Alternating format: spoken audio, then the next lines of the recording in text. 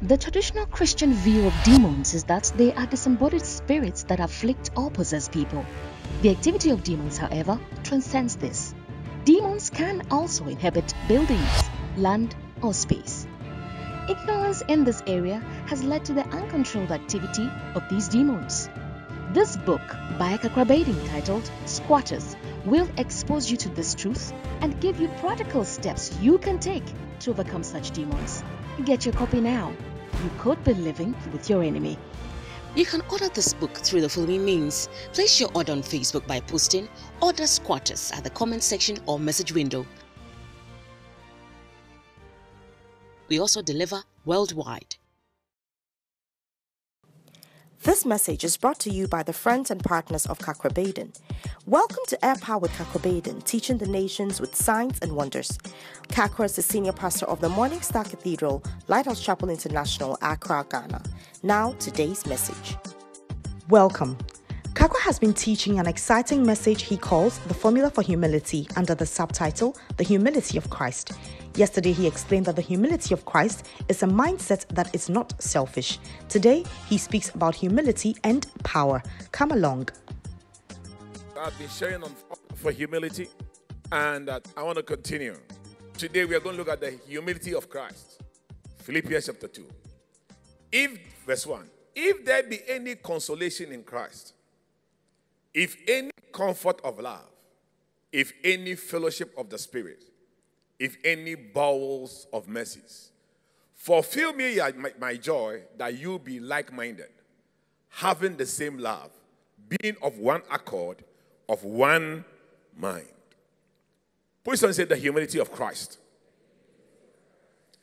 Number one, this type of humility is a mindset. That's what it's a mindset. Verse 3 Let nothing be done through strife or vain glory in lowliness of mind, let each esteem others better than themselves. Look not every man on his own things, every man also on the things of others. Verse 5 Let this man be in you, which also was in Christ Jesus, who being in the form of God, thought it not robbery to be made equal with God. Point number five it is a decision not to exercise your power even when you can. The Bible says Jesus, he was God, but he, he decided that that power that he had as God, he will not exercise it. When you are powerful, if you are not careful, you abuse people or you abuse your position. So sometimes people go into politics, they are powerful. They begin to see a lot of money and they begin to steal the money.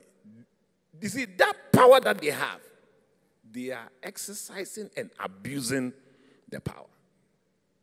And it's very telling about Jesus. You know, Jesus, there was not even once that he told Pilate, I will show you something. And suddenly then Pilate saw two angels with whips. Said, Is this the, if, you, if you don't release him, you'll see what we'll do to you. That's why he told Pilate, he said, If I wanted to release angels, I will command 12 legions of angels. A legion is about 700 people. So 12 is 8,400. He said, I could have. But I decided not to exercise that power. There are some people, they look humble because they have no power, they can't do anything. You call him Johnny? Yes. He has nothing, so he looks very humble. Give him power, he will change.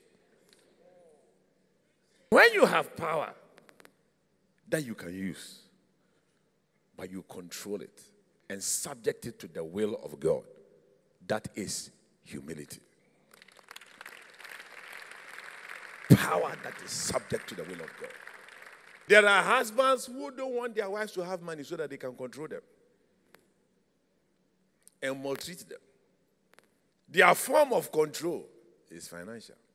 When I have financial power, then I will teach my wife one or two lessons. When I am angry, no money in the house. Your car, no fuel. Even food, I won't buy. You will know that I am King of Kings and Lord of Lords. That's not humility. One day we had a Bible student. I think he came on the weekend. By Tuesday, I was in my office. I saw somebody has cooked lunch and is bringing it. So I thought it was his sister. So when we closed, I said, Today, your sister really brought you nice food. Oh. He said, Oh, it's not my sister. I said, But who is that? He said, One of the church members. Then I said, Where do you know the church member from? He said, Oh, we met just on Sunday. That's when we met. Then I said, Ah, so you met on Sunday and this church member came to cook a whole dinner for you? He said, Yes, I told them that I'm a pastor, so they should bring me food. I was shocked. Then I said, I've been in this church for 10 years. The thing I saw you do, I have never done some before. You came three days ago. You have become a pope in the church. So when you have power, remember, it is not uh, an avenue or a tool to abuse or control people. It must be subject to the word and the will of God. That is the humility of Christ. Thanks for joining us. Today we learned that the humility of Christ is a mindset which takes decisions not to exercise power even when it can. Join us next week and have a blessed weekend. Before we go, here's a praise report to boost your faith. Dad healed of paralysis. Dear Kakra, I wrote to you some time ago requesting for prayers for my dad who was paralyzed from head to toe. You replied that you had prayed for him. By the grace of God, he is completely healed. My mom's dream of him walking by himself again has come to pass. Thank you and God bless you. Thanks for your time. You can contact us, seek counseling, ask for prayer, order today's full length message, or order books through the following means. Call us or message us on WhatsApp to plus 233 55 700 9010. Send an email to info at. You can also make a regular call or send a text to plus 233 207575 Our office hours are 10 a.m. to 1600 hours GMT. Finally, write to us, share your testimony, and how this broadcast has been a blessing to you.